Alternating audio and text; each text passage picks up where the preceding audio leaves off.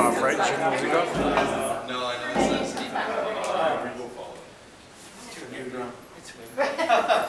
Sorry for silencing the place. That's okay. It's a, it's a new drum that I got from my drum teacher, actually. And uh, it'll be the first time playing it. So it makes sense to have uh, the new beginning of my beautiful and wonderful friend, Pat's Gallery. Here, here. Also the- And, yeah, it- it- Well, I can't really say Pat's Gallery because it will be the gallery of everyone. Mm-hmm. And, you know, what we have around us is the one that we get us together and become amazing friends for many years and more many years to come. It's one of those things that I, you know, as an artist, have recognized that why do I do art? Because it connects people together. You know, art, without art, it's meaningless. With art, we, people get together. And for tonight, it has been just that. Here, here. I'm going to try a song. I'll do a song about an artist.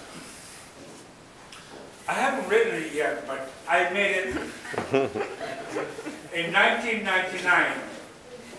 It was the creation of Nunavut. It was a verse of Nunavut. And uh, there were sculptors from all across Canada.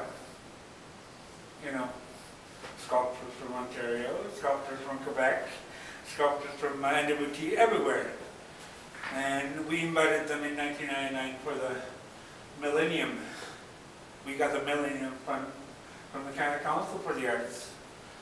And uh, we had sculptors coming in for three weeks, living in Hawaii for three weeks. And it was an amazing event. It was a hard event also.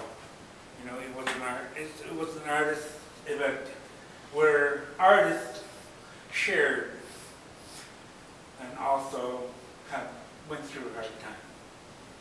So it's about an artist that has something inside that wants to come out and be shared. For this instance, we have sculptures here. It's about a sculptor sculpting. And as the rocks fly off, it gets lighter, you know, because it gets more shaped. And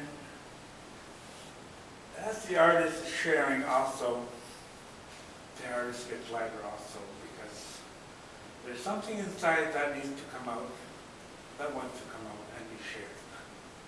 So it's about an artist that has something inside that wants to come out.